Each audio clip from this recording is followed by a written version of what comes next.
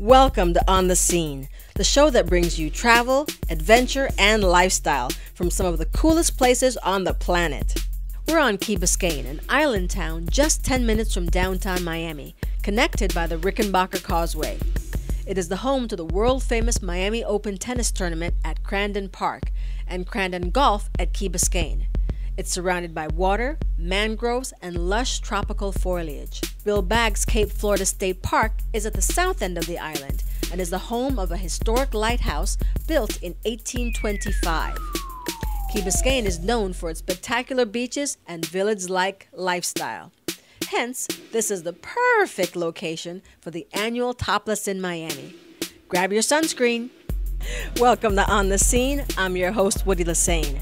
I'm coming to you from Key Biscayne. This is the Ritz Carlton. Right here is the very entrance. But what's important today, this is a beautiful setting for some exciting things that happen in South Florida. And I'm always trying to be on the scene. In this case, it's all about cars. This is the Topless in Miami, sixth annual Topless in Miami competition, where it's all about convertibles. And as you see behind me, there are vehicles that are going to be going by. We're going to be bringing you information on what's hot and what's trendy in the various categories. And of course, later on, we'll bring you back to who the winners are. Check out this Alfa Romeo 4C Spider. It's in the luxury sports category. Sweet. Here comes the Camaro now the BMW X5, and the Hyundai Genesis. As you can see, not all the vehicles are full convertibles. I'm in heaven. Take a look at this Infiniti QX60.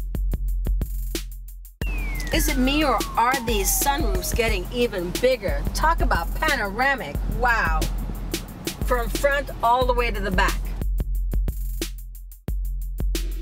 The Mercedes-Benz SL65 convertible top comes down within a matter of seconds. Then we're on our way. The Mini Cooper has its own convertible.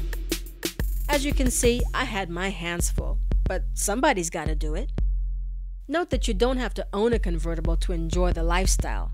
Rent one and enjoy the benefits of the wind and sun on your face. Nothing beats arriving to your destination than in a convertible, which brings me to the Mazda Miata MX-5, one of my favorites. Now I'm sitting here with my good friend Tamara Minalchek from Mazda, and we are sitting in the Mazda Miata MX-5, and this is so exciting. Now, this vehicle is such a fun vehicle to drive, Tamara. And when we talk about lifestyle, I mean, what does this add to somebody's lifestyle having such a fun vehicle like this one and a convertible, of course, at the top?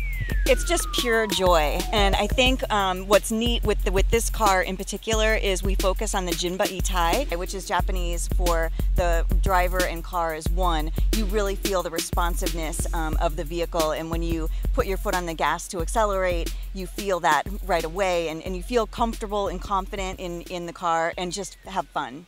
Thanks, Tamara. Oh, thanks for having me, Woodie. Enjoyed it. That's it for this edition of On the Scene. I'm Woodie Lesesne, and I'll see you next time.